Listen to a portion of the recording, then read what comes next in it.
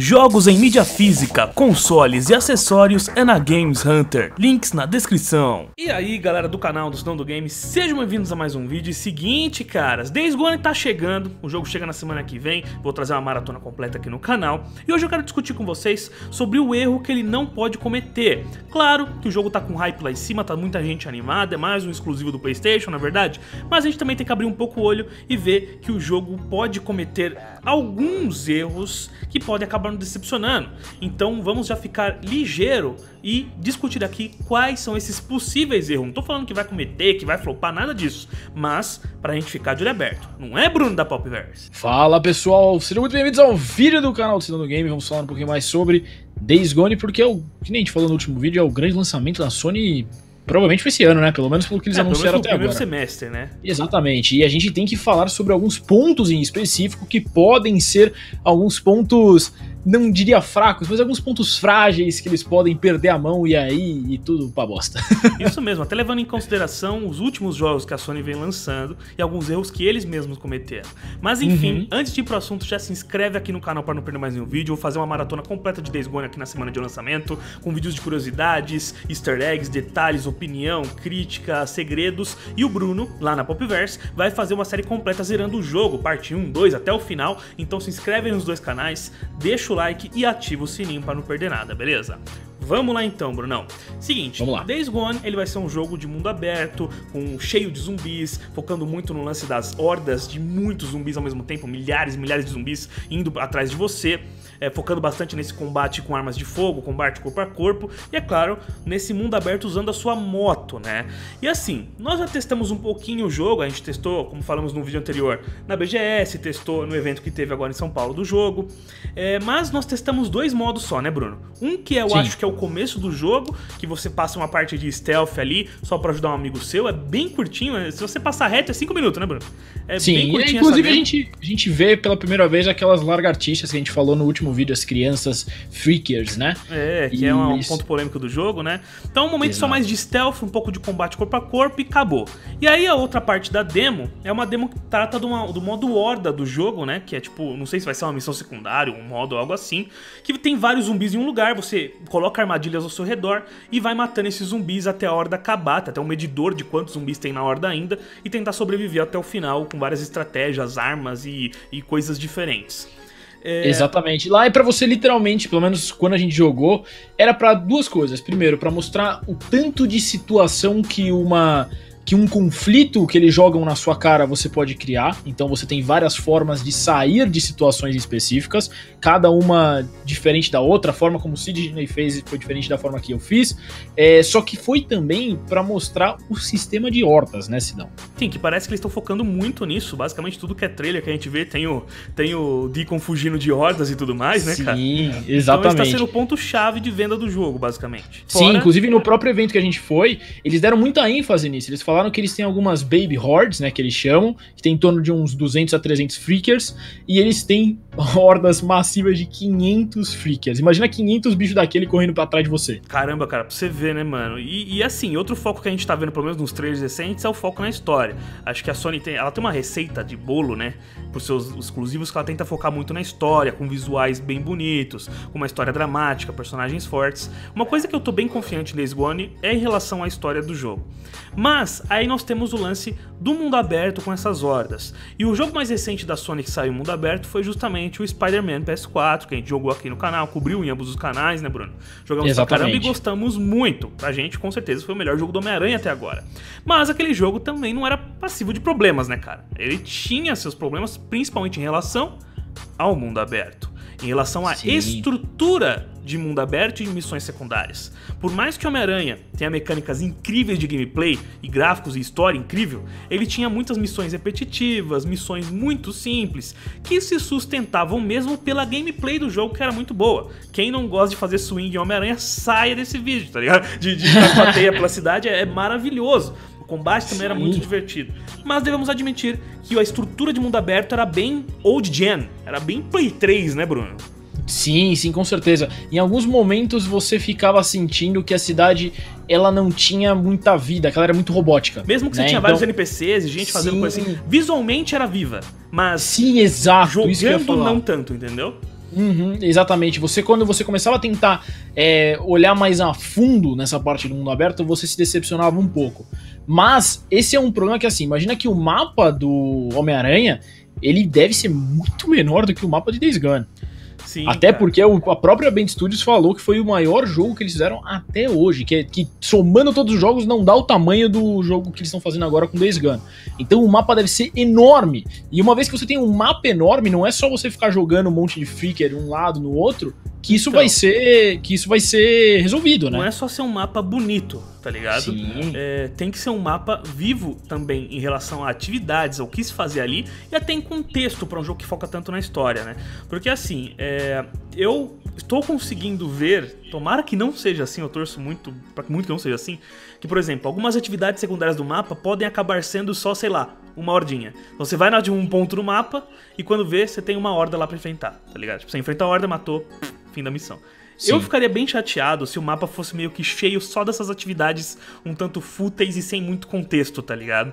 Eu gostaria Sim. de ver algo mais bem elaborado após esse histórico de jogos mundo aberto que nós tivemos, como Zelda Breath of the Wild, The Witcher 3 e um Red Dead Redemption 2, que você tem um mundo aberto muito vivo, muito presente, não só pontinhos no mapa. Por isso que Homem-Aranha, nesse quesito, decepcionou tanto.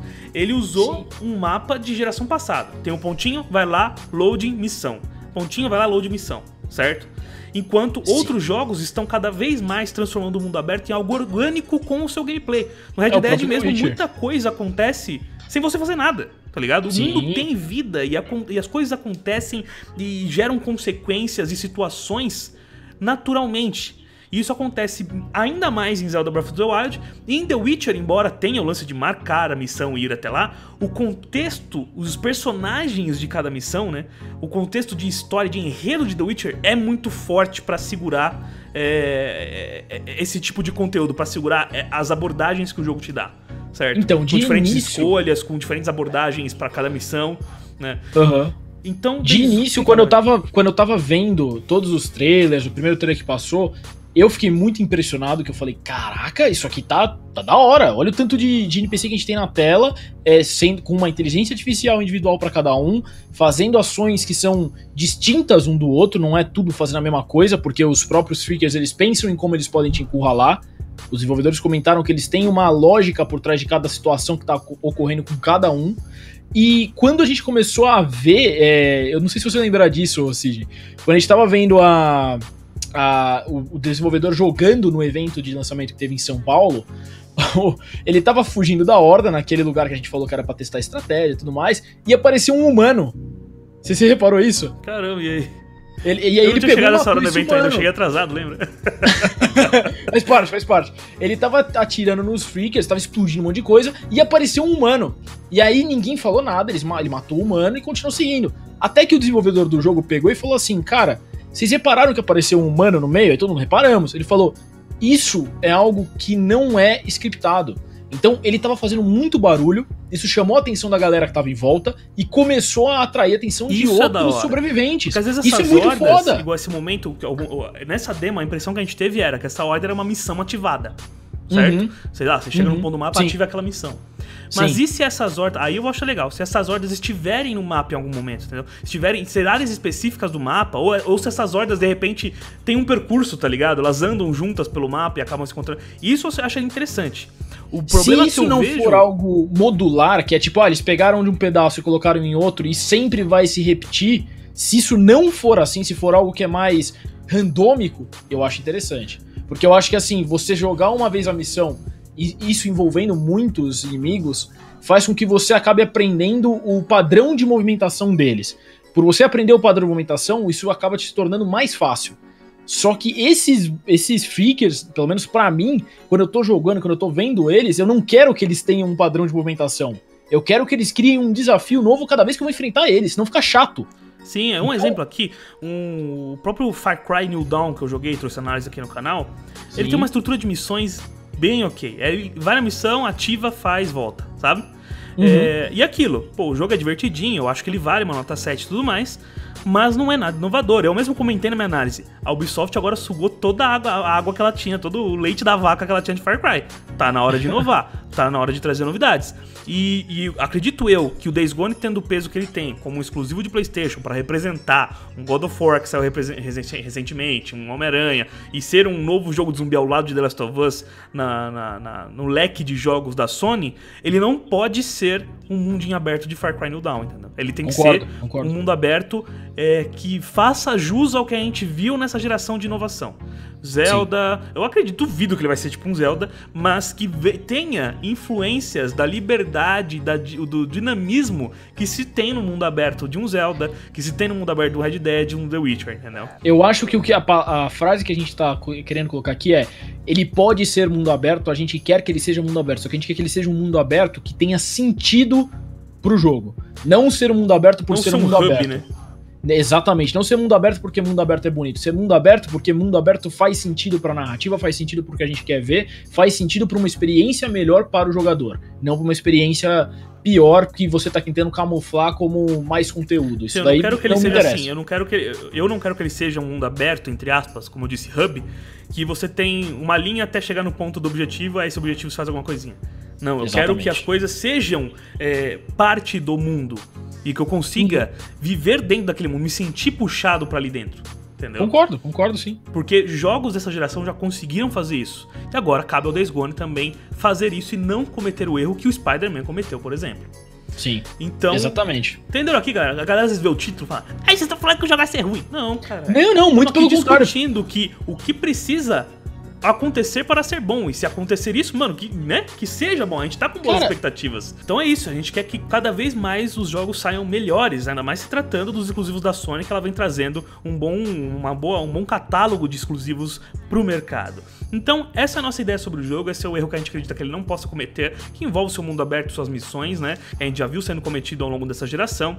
E eu quero saber a opinião de vocês. O que vocês esperam do Days Gone? Você espera que ele vai trazer um mundo aberto que impressiona? Ou vocês estão com um pouco de, de pulga atrás da orelha? Comentem, tá certo, o que vocês acham, o que vocês esperam dele e o que vocês querem ver nele também. Enfim, caso você não for inscrito, já se inscreve aqui no canal. São vídeos todos os dias, vamos ter uma maratona de Days aqui com vários vídeos sobre ele. Inscreva-se lá na Popverse que também vai ter série completa lá do jogo. Ative esse sininho nos dois canais para não perder as notificações e deixa o like nesse vídeo para ajudar. Enfim, muito obrigado, um grande abraço. E aqui, os donos do game. Bruno? Valeu, pessoal. Espero que vocês tenham gostado do vídeo. Aquilo que a gente falou, a gente não tá falando que o jogo vai ser ruim. Eu quero que o jogo seja muito bom. O Sidney também quer. A gente quer que tenha jogos muito bons vindo aí pra gente poder jogar e ter experiências muito bacanas. Então convido todos vocês a acessarem lá o Popverse que eu vou fazer a série de gameplay do modo história focando, meu, em explorar o máximo possível, etc, ter a melhor experiência para quem também quer assistir o jogo aí no YouTube, tá bom? E se inscreve aqui no Sidão do Game, se inscreve no Popverse e vamos que vamos, molecada. É nóis, um abraço e falou!